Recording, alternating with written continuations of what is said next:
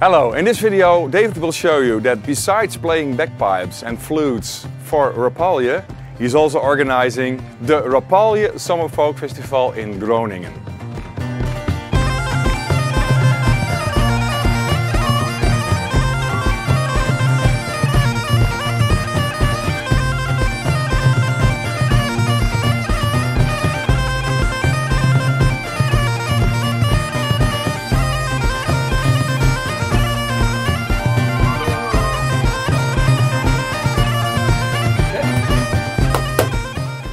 Hello! Besides playing on the bagpipes, flutes and all that sort of things on the stage, one of my hobbies is organizing our own festival, Rapalje Summerfolk. And uh, doing it with a lot of joy and it's a lot of work, but hopefully I'm, uh, we're enjoying a lot of people. The festival is for everybody, little children till uh, older people, a lot of students, daddies, mummies, everybody. We've got uh, something to do. I'm going to tell you what's going on on our festival. We've got a big stage on our festival. Oh, this. Yes, hello? Oh, I'm in the middle of something. Can I call you back later on? Yes? Okay, yeah. Okay, thanks. It's my uh, next interview. This year we've got a big stage with a lot of bands. Dublin Legends are coming there. The Tannahill Weavers are coming there. We know them very well. We play music of them.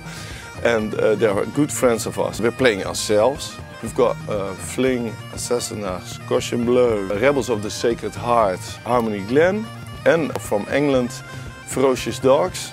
So we've, we've got a lot of bands. And we've got a second stage with a lot of bands, uh, some new bands, some uh, little bands, some big bands. There's going to be a lot of fun on every stage. Beside uh, the stages, we've got workshops. You can dance, Irish dance, Scottish dance. You can learn how to play the bagpipes. You can skill up your improvisation technique in uh, storytelling.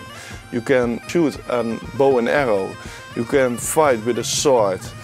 Uh, there's a LARPing, there's uh, gaming to play. Children are going for free to our festival and can play in a straw castle, get face paint, and play, play the Highland Games. For everybody who is uh, hungry at our festival, we've got our own catering. We've got a big barbecue, oerham.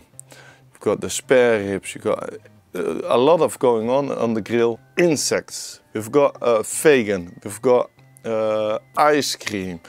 And our own special beer with our own earthenware cups. We are using our own funding on our festival and everything is paid with our funding. And if you want to see more about it, you can see the link above here and you find out what the funding is. I don't know if you saw a poster in a city center or a big banner at the side of the road. We are working hard to promote our festival in the city center of Groningen Stadspark. And uh, remember the date, it's 24 and 25 June of 2007. Oh man.